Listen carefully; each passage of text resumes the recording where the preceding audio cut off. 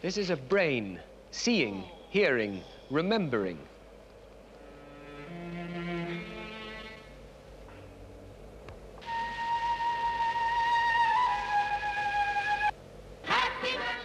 Well, to be more precise, this is a model, the brainchild of an American designer, Mr. Will Burton.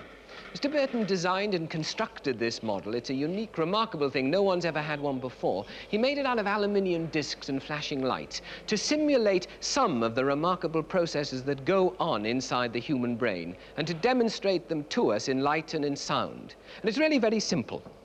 These are the two eyes, the left eye and the right eye. In order to understand it, let's concentrate on the right side of the brain. Now, this is the right eye.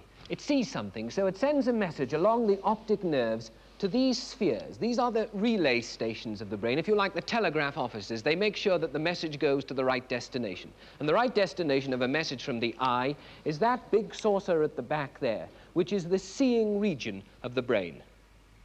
This is the right ear. Now, the right ear hears something, and just like the eye, it sends its message along the nerve channels to the relay station where the message is sent off to its right destination. And the right destination for a message from the ear is up here to this saucer overhead, which is the hearing region of the brain.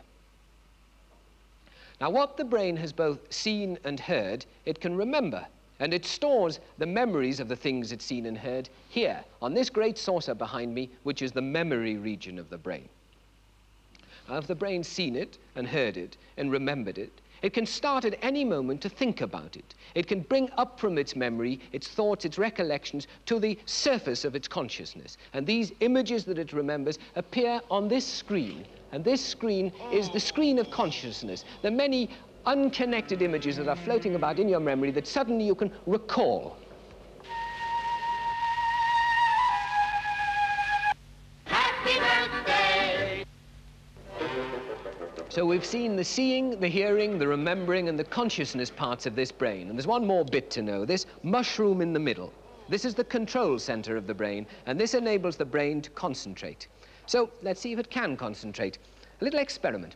Imagine that we've taken the brain to a concert and we sit it down in the concert hall and it looks towards the stage and on the stage comes a woman who sings a song. Now, how does the brain cope with, first of all, looking at the woman, then listening to her sing, and then evaluating her performance? Well, we begin with looking, because the concert hall is smoky, the light is not what the brain is accustomed to, so the eyes have to accustom themselves first to the light.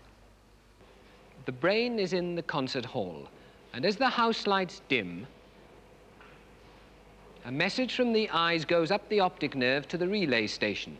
From there, an impulse returns to the eye and the iris expands. But it's expanded too much, and an impulse traveling back to the relay station causes the return impulse to contract the pupil.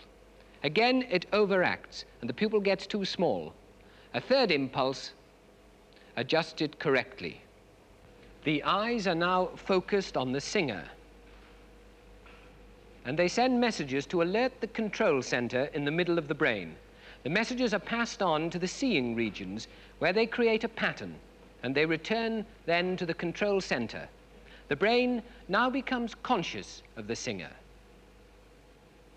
Now that the brain can see the singer, let's see what it does with the sound of her voice. To adjust the ears to the sound of the singer, a message first travels from the ears to the relay station, which feeds back an impulse to adjust the muscle that regulates the tension on the eardrums. The ears are now tuned to the singer, and they send messages to alert the control center. The messages are passed on to form patterns on the hearing regions, and as the messages return to the control center, the brain becomes conscious of the song.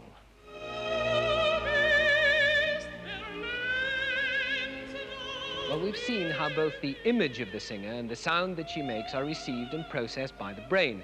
We saw them happen separately, but obviously in real life they happen simultaneously. And we're now going to do it all again and make it happen together. But before we do that, one point.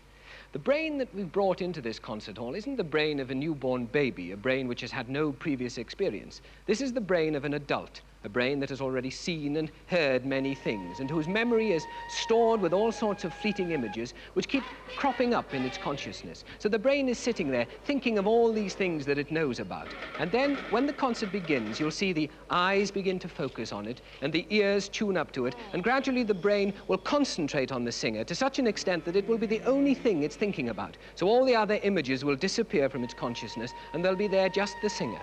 And at that moment, memory will take over because the brain will begin to remember other singers and will compare them. And in this way, will reach a judgment on the performance. Okay.